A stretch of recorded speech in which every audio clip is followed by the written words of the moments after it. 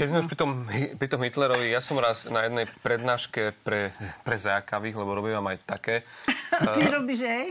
Som vysvetľoval, pre, prečo v nacistickom Nemecku eh, neboli zákaví vôbec lebo v podstate si predstavte, že by ste pred tým Hitlerom mali zahajlovať a to len by ste začali, že ha, ha, ha, že sa smeješ a už by, už by, už by nás brali. Takže my sme sa, tak, my sme sa tam naučili rozprávať.